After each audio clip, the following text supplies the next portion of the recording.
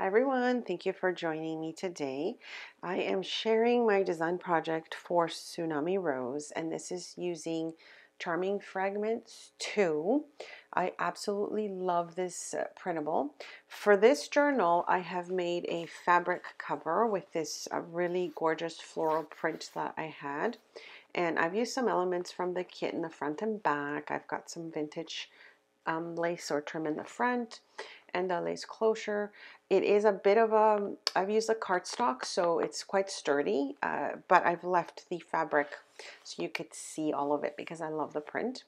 Um, on the front here, I've got my um, envelope pockets that I've been madly making. This is from J9 Scrap Shop.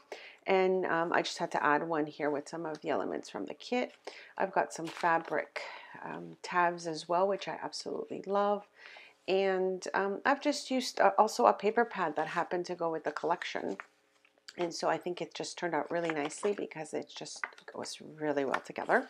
On this um, book page envelope, I've stitched it together and I've added some elements again from the digital.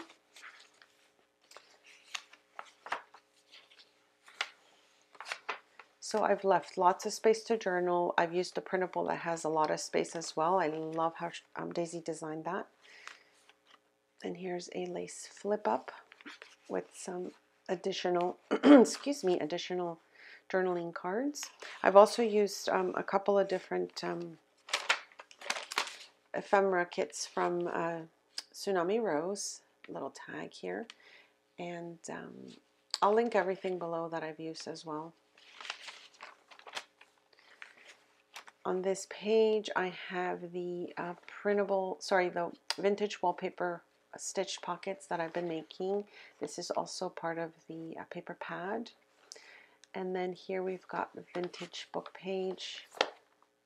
And then this envelope that Daisy designed, I absolutely love how big it is and how she's designed it. It's one of my favorites.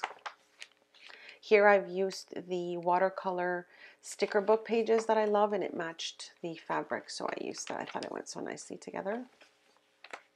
I've got some images here that I love. This is a coloring page, fabric flip up. And then here I've just added some tuck spots and some pockets with journaling cards. This is also part of the printable paper pad there. vintage Jeopardy uh, game piece, I guess. This is a tag that I made from the paper, and then this um, embellished paper clip has laces and trims and fabric on it. Most of the items that I've added to this journal are removable so that, you know, whoever gets it is um, able to, you know, just add their own things to it, or if they don't want to use any of the elements that I've added, they can be taken away. Um, but um, I've put so many little um, ephemera pieces as well. This is part of the paper pad, matches the cover, the inside cover. Center of the signature here, and I've left again, I've picked the pages that have a lot of printable space on them.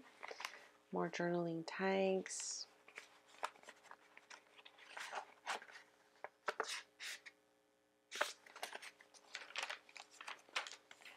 Fabric flip up. And then here I've made like a triple pocket.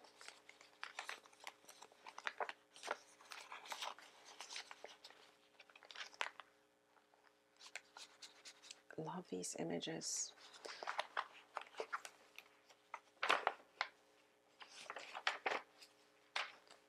And then here I've made um, a tag as well with some embellishments. Um, Again, these ones were inspired by Roxy Creations, and it's just, you kind of do a, a, collaging on book pages, and I've made a tag out of that, so I'm really liking how that turned out. I'll show you more as, um, I'll probably make another video with the other ones that I've been making. Little flip up here.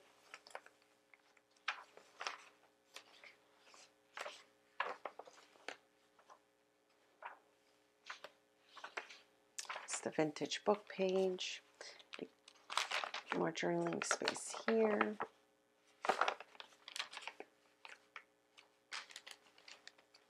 And back pocket on this side.